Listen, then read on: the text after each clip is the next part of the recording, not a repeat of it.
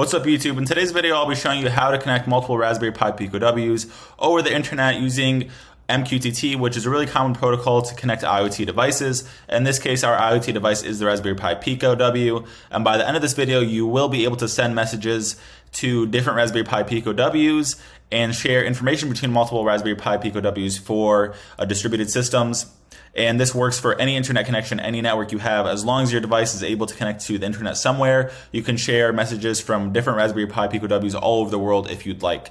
So we'll be using MicroPython, we'll be using the Thonny ID, and we'll be using the MQTT broker, and that is the Hive MQ broker. Everything is free in this video to get started, and all you need is more than one Raspberry Pi Pico W, an internet connection, and let's jump into it. Okay, to get started, the first thing you want to do is you want to have Thonny installed. I would imagine you already have it installed. It's really easy to install. You just go to Thonny and install it. And next thing you want to do is you want to open a Thonny instance by just simply clicking the Thonny app and opening it and connecting to one of the devices. So I currently have two devices connected to my computer via the USB. But uh, in reality, if you want to do this with more than one computer and a device connected to another computer, it should be the same thing. But because I only have one computer in front of me for this YouTube video, I'm just going to show how we can do this with one computer. So I'm working on one computer and I want to open another Thonny instance for my other Raspberry Pi Pico W. So I have this one here. And in order to do that, the first thing we want to do is we want to go to Tools. I actually showed this in a previous video. And want to go to General and want to go to Uncheck this. So I already unchecked it allow only single Thonny instance. This will allow us to open more than one Thonny instance. So I clicked OK. And what you have to do after this is restart the app. I already restarted it. And you should have the ability to create more than one instance. So on a Mac, how you want to do that is you want to go to the terminal and you want to run this command here to open a new Thonny instance. Now on a Windows or Linux, I believe you can simply double click the Thonny logo here and it should open another one or there's probably a similar path which I don't know at the top of my head but this is what we're doing on a Mac so we're just going to type this in the terminal and click enter Okay, perfect. And we're just going to select the other device. So now we have the code on the other device. This is the device I mainly code on. And then we're going to go back to the other one, which is the second one we're going to use to send messages from one to the other. But in reality, you can use more than one, and you could use even dozens of Raspberry Pi Pico Ws with this methodology I'm about to show you. Enough being said, let's jump into the Hive MQ broker to show you how to get that started online. And once we have that set up, we'll jump into the code. Okay, to get started with the Hive MQ broker, it's really easy. We just want to go to hivemq.com slash mqtt dash cloud dash broker, and we want to create a cloud uh, instance of this MQTT broker. So to do that, we just click try out for free. I already have an account, so what it's going to do is it's simply going to go to my dashboard here and I already have a cluster. This is free to get started. You do not need any billing information, which is nice. And you have a lot of storage and compute power to work with from the get-go, which is pretty cool. I've been using this for a long time for testing purposes. So once you have a cluster created, you want to go to manage cluster and you want to go to access management and create a user. I already have a user with a password, and you want to make sure to save that information. You actually need three bits of information to use this in MicroPython. You need the cluster URL, and you need the user and the, the password for that user. And it shows you all the data you have here. And that's pretty much all you need to get started with Hive MQ. It is a really common broker and it's nice because it's really easy to get started. There are other brokers out there that you can look into once you get more experienced, or if you are more experienced, you can certainly go with other um, brokers online or even uh, local uh, instances of MQTT that you can develop yourself. But for this video, we're just going to talk about HiveMQ because it's really powerful and it's perfect for this application. So enough being said, let's jump into the code to start using this broker for our Raspberry Pi Pico Ws. Okay, so jumping back to Thonny to demonstrate the code for these Raspberry Pi Pico Ws to get started with this. The first thing we actually want to do is we want to go and we want to go to the home directory of our Raspberry Pi Pico W and we want to insert a new file. What is going on here? Why is it saying that nonsense?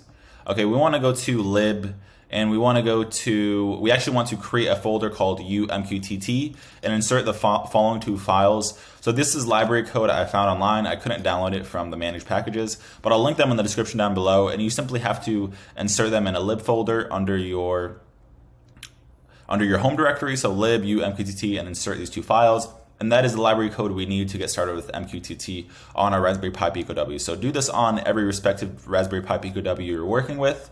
And now for the first one, what we're going to do is the first device we're going to have is it's going to publish data to the MQTT broker. So that one's going to publish it. And the other device we're going to have is it's going to read that data that's being published. Okay, so that's that's how we're going to do this uh, demonstration here. So let's go back to the home directory here. And let's go to this tester, which I already created. And actually it's this MQTT demo, sorry. And I have this demo.py, which contains all the code we need to actually do this. And so I'm just gonna move this down here to go through some of this code at a high level. Really, you can name it anything you want. So I just call it demo.py, and it does have to be a Python file. So we want some imports here. So we need a network to connect to the internet because we absolutely do need an internet connection. We're using time for some other uh, internet connection handling. So, you know, we're timing out after a certain time. And what we can do is we can wait certain intervals to publish data. So the time library is very useful for MQTT for that regard. Another thing we're doing here is we're importing the simple library, the one I just discussed. So just say from umqtt simple import MQTT clients. And the next thing we want to do is we want to import constants. The constants file I have is just sensitive information such as the host name and the user and password I created under access management in the, the Hive MQ uh, cloud management. So you want to be sure to try to hide that information, especially if this is on a public repo. So this code I'll be posting online, so I don't want my my server host name, my user password, just in case there's someone out there who wants to, you know, maliciously use my information. Hopefully none of you guys are like that, but there are people out there who will, you know, do that maybe just for fun. So just be careful, never post those sensitive information on a GitHub account, especially not a public one. So the first thing here is I just define this function, which we're defining an MQTT client, and I'm creating a client ID, which can be really whatever you want. I just called it Mahmoud, which is my name. And then the server, it just goes to from the the constants file, which is just the server on your Hive MQ account, which is the first thing you see. It should be like a big server link URL, which should be your server host name. Finally, the port is zero, which is fine. And then we have the user and password. Keepalive SSL and params. You can just define them as this. I'm not going to go into the details of this in this video because it's beyond the scope of it, but just know you define them as uh, 7200 true and we pass in the server host name again. And finally, we initiate a, connection. So if we did everything right on the Hive MQ side in terms of information, uh, we should be able to run this function and have a client ready to go.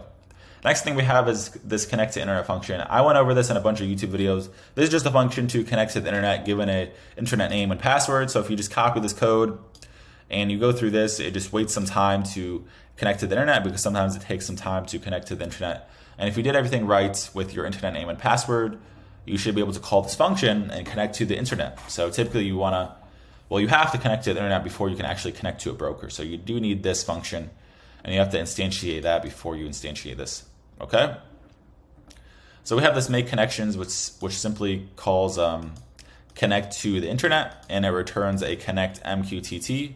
So we connect to the internet and we return a client from this function here okay?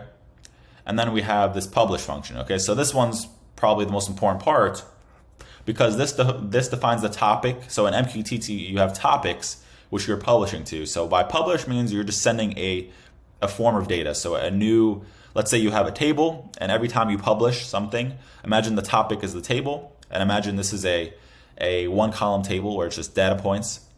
So you are just publishing a value every time you go to publish to this column. So a new row, a new row, a new row every time you go to publish. And the table's name is topic. Okay, so you can name it whatever you want. So the topic can be whatever you want. The value can be whatever you want. For this case, I believe it has to be a string. So I think we're constrained by using this broker to it has to be a string. But if you do need an integer, you can just do some quick manipulation between string and integer, which should be fairly quick. But maybe there are some other techniques I don't know that you can post to Hive MQ with integers. But that's um, I don't know that at the top of my head. And the next thing you have is the client. So you actually have to pass this client, and this client was created right here. So this is our client, right? So we, we called it from this function. So this is just a function I defined, by the way. So the first thing we do once we have all these functions defined is we create an actual client by calling make connections, which just gives us the client object. And then while true, we publish data to that topic. So the topic is called topic, not very creative and the message is called test message, also not very creative.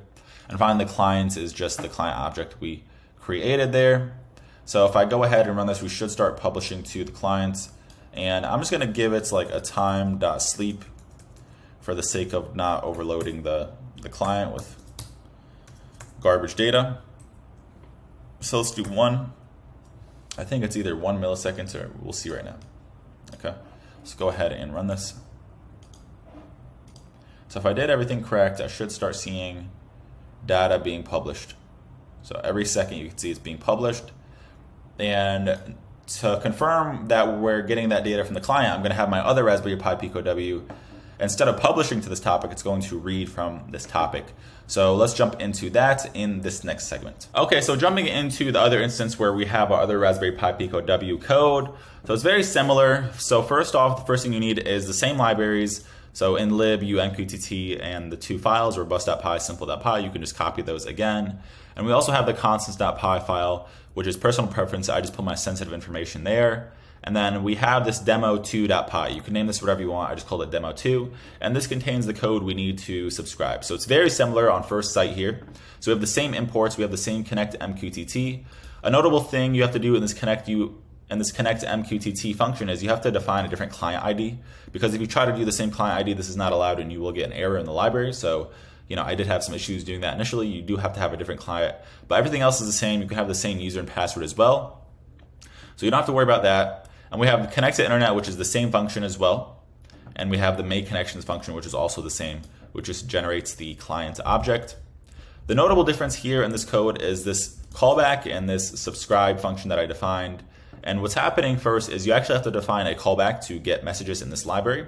So you have to pass a callback using the set callback method to the client and pass in the callback function. So it's really simple, and that just defines how you want the topic and the response displayed based on your preference. So I just passed receive message on topic and response, but you can do whatever you want here in this callback function. I kept it really simple for the sake of this video. And we have the subscribe function where you pass in a topic and you pass in a client and we just do the subscribe method. So client dot subscribe topic, and we just subscribe once. That's all you have to do is just do it once. And then we create a client by calling the make connections as we did in the previous example. We set the callback to the callback function, and then we call the subscribe function based on the clients. And finally, if you did everything correct, you should be able to run a continuous while loop where you continuously check messages. So if you are getting messages on that topic, it will just display them every five seconds. Okay? So let's go ahead and run that because we know we are running the other client who is actually publishing. And in this case, we should start to see the messages. So hopefully we see them. So let's go ahead and run that. Takes a little bit, you know, a few seconds, maybe 10 seconds based on Okay, cool. So we are getting the message in bytes, so that's a notable thing. It does publish them in bytes because I think it's using some socket uh, system. So you would have to decode those if you actually want the string itself. But overall, you know, this looks like pretty cool how we got messages from another Raspberry Pi Pico W. And what's even cooler is I just want to reiterate the fact that that Pico doesn't have to be on the local network. It can be somewhere else across the world. And as long as we have an active internet connection, we can actually get messages from that Raspberry Pi Pico W. And we can also incorporate many other Raspberry Pi Pico Ws to have a truly large distributed system, which many people who are watching this video are probably interested in. So that pretty much clears it for this video. If you have any questions about what we did here, or if you have any suggestions of what you want to see on the channel, please let me know in the comment section down below. And as always, you guys stay tuned and thanks for watching. Be sure to subscribe to the channel and I'll see you next time.